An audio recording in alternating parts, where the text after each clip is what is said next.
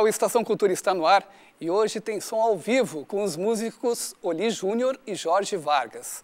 Você fica por dentro do espetáculo Cadarço de Sapato ou Ninguém Está Acima da Redenção. E aqui no estúdio a gente conversa com alguns integrantes do Bloco da Laje. E começamos com artes cênicas. A peça infantil Os Horrorosos está em cartaz este final de semana no Espaço Crisálidas. Nós recebemos aqui a atriz Luciana Pontes e Irajá Sibils. Ele que é diretor e ator do espetáculo. Tudo bem? Tudo bem.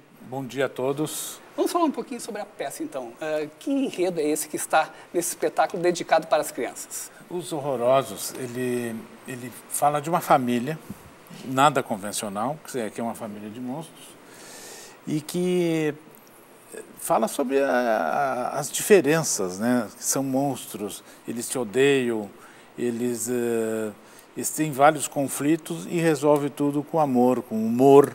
Né? Luciana, você veio com um figurino de espetáculo, Sim, né? Eu sou como a vampirícia, a mãe da família. E tem, temos dois filhos, um marido e uma intriga quando volta a minha irmã. Né? Vamos falar um pouquinho sobre o espaço né, e sobre a história do grupo. Bom, o espaço nós temos há um ano. É um espaço novo, inclusive está inserido no Porto Verão Alegre, é, como alternativa de, de, espaços novos, né? É, estamos aí abertos à, à, visitação das pessoas, tem aulas de tudo que é, que é espécie de, de modalidades e aos fins de semana então eventos de música, uh, uh, eventos de teatro. E o bacana é que fica no centro histórico, ali na Riachuelo. Exatamente. Né? Como referência, é em frente ao Colégio La Salle Dores. Né? Nós temos uma garagem, inclusive, na, na quadra seguinte, no 61, que quando tem eventos ela fica aberta para receber. Né? E o grupo, nós temos esse grupo há 20 anos. 20 anos. Há 20 anos que começou no interior, em Camacuã, aí veio para Porto Alegre e sempre é um grupo super aberto. A gente está sempre montando peças, a gente está sempre com oficinas de montagem e, e revelando talentos novos como a Luciana, né? Que é, que é muito bom tu, tu, trabalhar com jovens e jovens atores e sendo uh, sendo trabalhados, né? Para para essa profissão tão linda que é.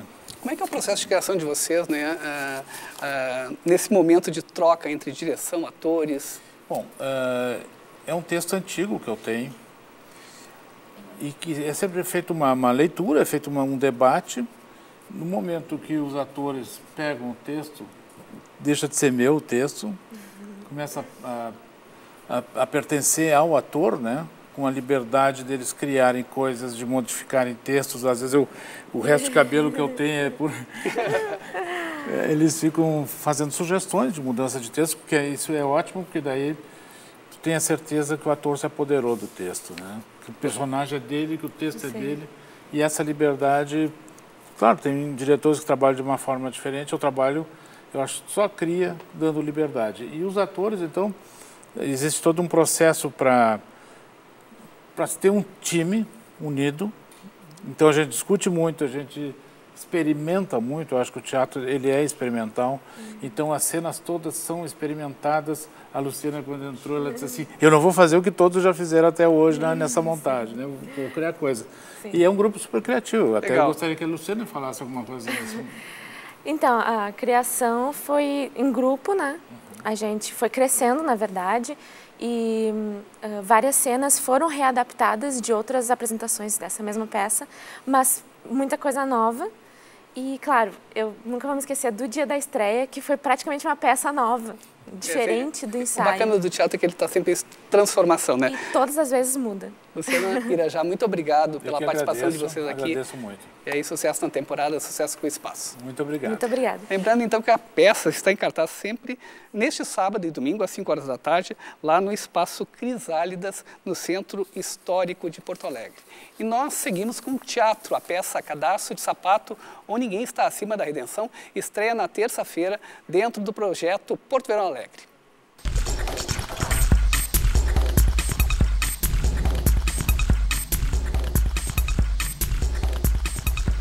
Espetáculo é uma das produções que estreiam no festival. Inspirada nos textos da inglesa Sarah Kane, a montagem, em uma hora e meia de duração, traduz na forma de movimentos e falas a profundidade psicológica dos personagens. A gente uh, foi pegando o que mais nos interessava em cada uma dessas peças e a gente foi construindo em cima dessa dramaturgia a nossa visão da Sarah Kane. É, nós criamos a nossa Sarah, então a gente não, também não quis buscar um, um teatro documental com uma, uh, um aprofundamento sobre a vida real da Sara, é, com os acontecimentos da vida real dela, e sim a visão que a gente teve dela a partir da escrita dela. E nós fomos então escrevendo a nossa visão sobre ela. Né? Esses personagens da Sarah Kane, eles têm um descontrole emocional, que é esse descontrole que a gente tem de vez em quando, mas que a gente se melindra. Eles não eles, eles deixam as claras tudo. Então é tudo muito, muito forte, muito vigoroso. Mesmo com a morte prematura aos 28 anos, com apenas cinco peças publicadas, Sarah Kane é tida como uma das mais talentosas dramaturgas inglesas do fim do século XX.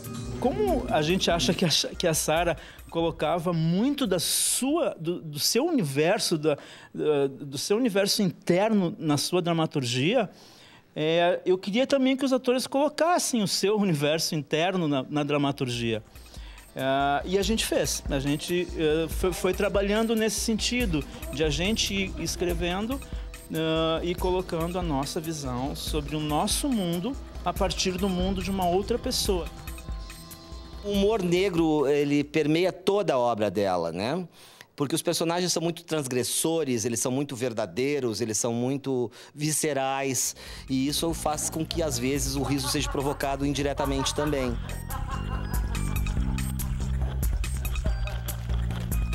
Ela tem um, um, uma visão, uh, às vezes, política sobre a vida. Ela coloca personagens no meio de guerras, por exemplo, guerras que acontecem ao longo de toda a história do homem, né? Uh, naquela época que ela viveu, né, anos 80, anos 90, anos 70, enfim, tinha como pano de fundo, digamos, a Guerra da Bósnia. Hoje tem outro panorama de guerra pelo mundo, então uh, isso também está presente da, na dramaturgia dela, né?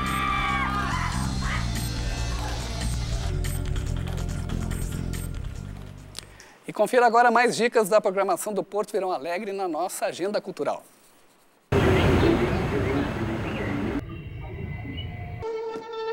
Considerada a primeira obra de William Shakespeare, a peça tem como tema central a crise de identidade. De maneira cômica, a montagem apresenta dois pares de gêmeos idênticos que são separados na infância e se reencontram.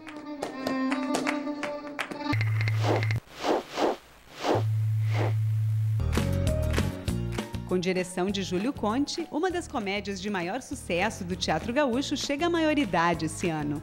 O espetáculo conta a vida de duas amigas cheias de problemas profissionais e com a vida sexual. No elenco, Patsy Secato e Heloísa Milhavaca.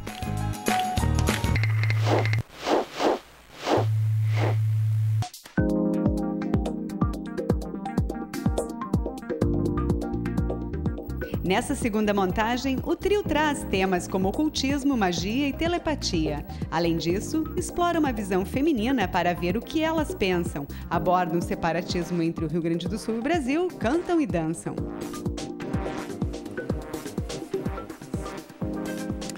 E agora a gente recebe a Júlia Ludwig, a Martina Flores e a Sofia Ferreira, que fazem parte do Bloco da Laje. O coletivo reúne artistas e brincantes que promove encontros de pré-carnaval aqui em Porto Alegre. Domingo, o Bloco da Laje vai estar na Praça da Matriz, aqui na capital. Júlia, mas já começou assim antes, né? Com vários encontros. O Bloco da Laje já está uma tradição aqui da cidade, né? Isso. A gente vai sair, na verdade, na Praça da Alfândega. Então, a concentração às duas da tarde. A gente está se reunindo, fizemos já alguns encontros, ensaios abertos na Redenção, como é tradicional, do Bloco da Laje. E agora, domingo, estaremos... Lá na Praça da Alfândega. Na Praça da Alfândega, Eu até, eu tô, tô, vendo aqui o nosso crédito está correto, foi, eu errei ali na hora de fazer o texto. Mas, uh, Sofia, então Oi. conta um pouquinho da história do Bloco da Laje. Olha, esse é o nosso quarto ano é, a gente vai fazer esse ano no Centro Histórico. que foi um território que a gente já habitou um pouco ano passado, mas na Orla do Guaíba, que também foi uma opção bastante interessante para a gente lá uh, no pôr do sol, no nosso cartão postal da nossa cidade. E tem sido uma trajetória bastante intensa, eu poderia te dizer. E, e, é isso, bastante, uh, muitos preparativos. Acho que com cada ano a gente vai aprendendo bastante. Os nossos foliões vão entendendo um pouco mais de como é que funciona a nossa brincadeira. Pois é, a gente está vendo algumas imagens aí, eu acho que da, do ano passado, né? Sim. Quando aconteceu ali na Orla. Retrasado. 2013. 2013. Agora já viramos, né? Caiu uma chuvarada de lavar a alma. e a gente sempre fala, costuma chover tem que contar já com a chuva, ela faz parte do desfile. Martina, já tem algumas músicas que são sucesso aí do Bloco da Laje, Ah, né? tem, tem os hits. a gente sempre também tenta inserir alguma coisa nova, né? E tudo nasce espontaneamente, em brincadeiras entre a gente. Daqui a pouco um tem uma ideia, começa a cantar, cantar, pegou, pegou né? A gente tem aí o Sol é o Rei, que todo mundo gosta de cantar. Tem uma nova é. versão esse ano do Sol é o Rei, aguardem. É, a gente repagina também as nossas canções, assim, revisita. Tem bastante coisa. E tem, e tem também, assim, alguns personagens que fazem parte, né, do Bloco da Laje. Tem o famoso Jesus, né, o nosso querido Chico Perereca, Francisco de Los Santos, uh, que faz o Jesus Pregadão. Uh, tem o Dionísio, que seria o padrinho do bloco, né, esse deus do teatro, que ele apadrinha o bloco e ele se materializa durante a saída. Acontece alguns fenômenos e ali aparece Dionísio, vai aparecer domingo na Praça da Alfândega. Parece que Dionísio estará lá, Jesus estará lá. E outras figuras mil. Eh, a gente convida também todos os brincantes, os foliões, as pessoas que forem chegar no domingo, a irem fantasiadas, a irem com a sua própria brincadeira, a sua própria figura, né? Todos são convidados também a, a botarem a sua figura, o seu personagem, a sua brincadeira na rua. Tem cores do bloco, assim? Pode, a gente ah, pode sim. falar? Vermelho, amarelo? São as cores primárias, né? A gente já escolheu bem. Vermelho, amarelo e azul. E esse ano a gente está também uh, investindo no branco digamos assim. Uma coisa legal que acontece com o Bloco da Laje é que ele reúne assim todas as gerações, né? Tem pessoas de mais idade, tem jovens, tem adultos, tem crianças e tem uma relação muito forte com a criança, né? Exatamente, justamente por essa coisa da brincadeira de botar para fora os desejos, os instintos, né? E, e esse é o nosso objetivo. A gente não quer fazer aquele carnaval massificado, onde só tem bebedeira, onde só tem pessoal se acotovelando. Não, é um espaço de liberdade para as pessoas se expressarem, para as pessoas brincarem, né? E a banda? um grupo de músicos que está ali com vocês, né, também, porque é essa integração, né, eh, da música com os brincantes, é, tudo sendo criado coletivamente.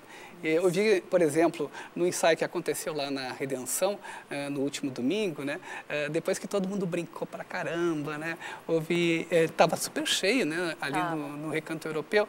Aí eu vi assim que quando terminou toda a jogada, vocês ainda estavam recolhendo os instrumentos, né, recolhendo as bandeiras, desproduzindo, né, é. depois de toda aquela energia ainda tem que trabalhar na produção e na desprodução. É, a gente, o nosso presidente Juliano Barros comenta que começou a gincana, né? Porque essa semana anterior, as duas semanas antes, é realmente uma gincana. Porque a gente também está procurando, então, em poder oferecer um evento uh, uh, com as devidas autorizações, com todas as questões de produção que, da, que a gente está também procurando. É, uh, se responsabilizar. E a gente também chama muito, por exemplo, a nossa saída o ano passado na Orla, né? A gente costuma conversar bastante com o nosso público para que recolha o seu lixo, né? Para que tenha cuidado com a cidade. Esse ano a gente vai estar tá no no centro histórico, é um local onde tem o nosso o patrimônio imaterial da nossa cidade. Então a gente também tem bastante, uh, gosta de trabalhar com essa responsabilidade dos locais que a gente está ocupando, né? Uh, então a gente também gosta de chamar os foliões. O ano passado foi uma experiência bem legal e a gente repete esse chamado esse ano, né? No ano passado, quantas pessoas mais ou menos participaram do desfile? Vocês têm uma ideia? A estimativa, acho que foi da Brigada Militar, foi umas 7 mil? É, 6 mil, acho que 6 mil, 6 mil pessoas, né? Então, inclusive, esse ano a gente não se preocupou em divulgar, porque o boca a boca já acontece, já tem o pessoal que acompanha o bloco, então só ali Facebook, boca a boca, já vai rolando e já tem bastante gente que vai aparecer. E essa é a primeira saída de 2015. Isso. É, durante, mas durante o carnaval vai ser esta, né? É, Sim. é isso. Outras virão. A gente está sempre arranjando um motivo para estar tá evoluindo aí pela rua. Legal. E a concentração começa então eh, no domingo a partir das 14 horas ali na Praça da Alfândega, Isso. entre o Museu de Arte do Rio Grande do Sul, Memorial, né? Ah, e o Memorial ali na Avenida Sepúlveda. Isso, Isso, Que exatamente. legal. E, a- e vocês vão partir para o desfile por volta de 4 horas, é isso? Isso. É, tá marcado. Aham. A gente trabalha muito no feeling, então vamos ver, a gente gosta de estar no encontro, olho no olho, sentir o clima do pessoal que vai estar lá com a gente, as nossas produções, os nossos corre-corres, mas esse é o horário marcado. Legal. Muito obrigado pela participação de vocês aqui no Estação Cultura. A Imagina. agradece. E o Estação Cultura vai para um rápido intervalo e volta já.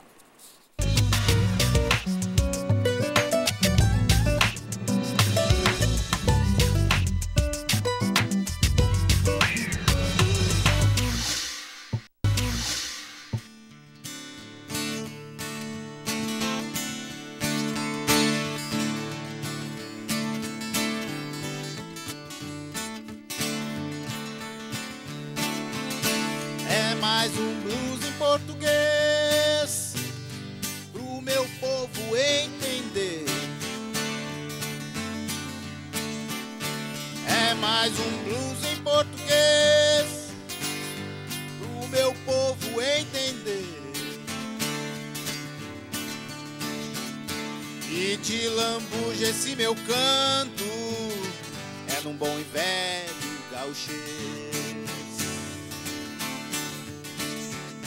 Cachorro que foi picado por cobra tem medo de linguiça. Cachorro que foi picado por cobra tem medo de linguiça. É um ditado muito antigo, mas é bom partir dessa premissa.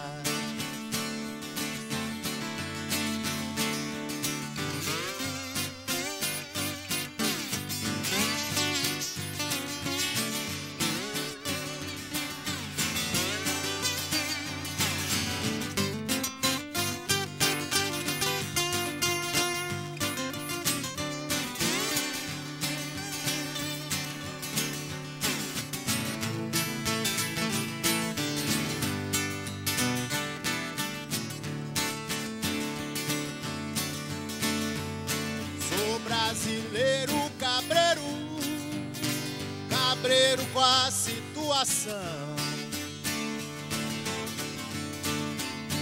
Sou brasileiro cabreiro, cabreiro com a situação. Tem duas pragas que andam juntas, poder e corrupção. Por aqui se fala bate, trilegal, pode crer. Por aqui se fala bate, trilegal, pode crer. Deus o livre faltar erva do chimarrão do entardecer.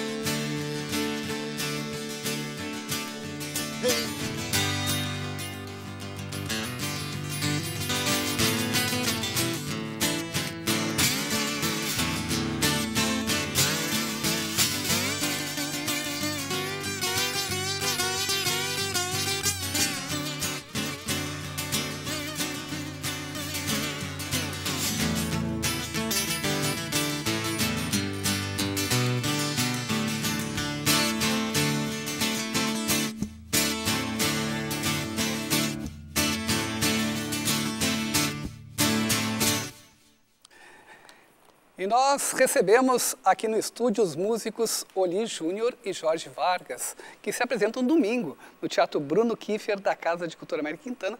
E a apresentação mistura diferentes estilos, como folk, blues e milongas. Olá, tudo bem? Jorge, Oli, como é que está seu esse encontro de vocês, dois que têm trajetórias diferentes e agora estão se cruzando?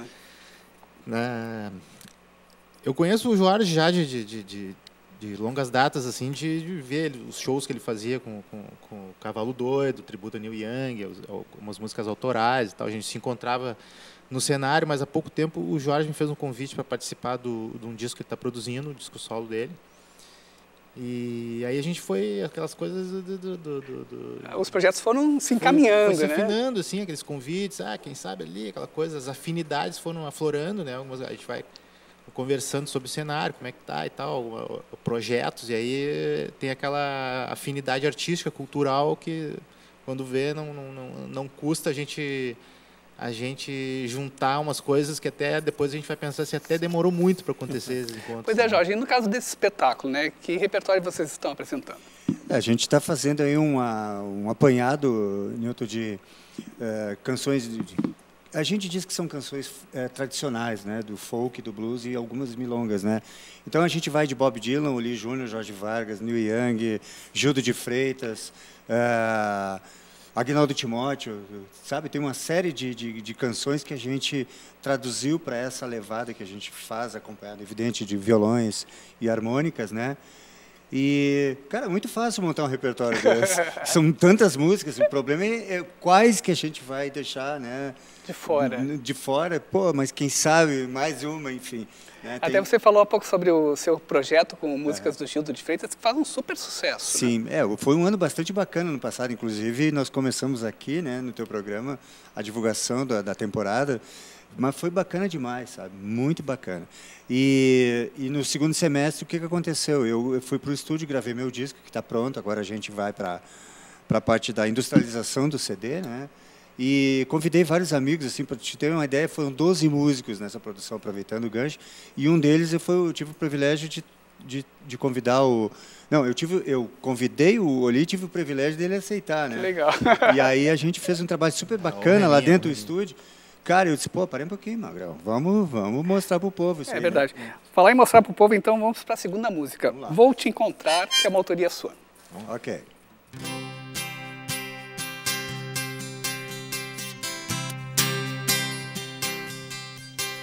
Eu ando por aí, querendo te encontrar. O sol me diz a hora estrelas o lugar. Existem tantas pessoas, tanta gente pra falar. Qualquer dia eu sei, vou te encontrar. É difícil cada passo, cada voz na multidão eu penso que te achei e é sempre mais uma ilusão. Existem tantas pessoas, tanta gente pra falar. qualquer dia eu sei, vou te encontrar. Vou te encontrar mesmo na mesa de um bar. Tanto pra dizer e ninguém pode me acordar.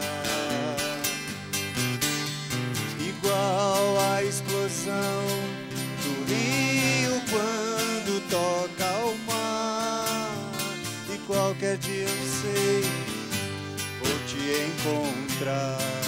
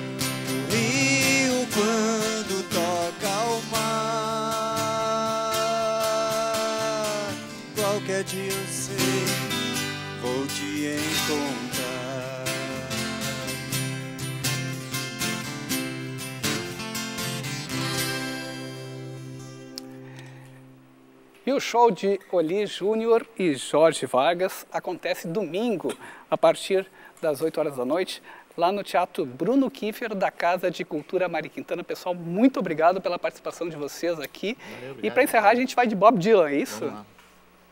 Até a próxima edição.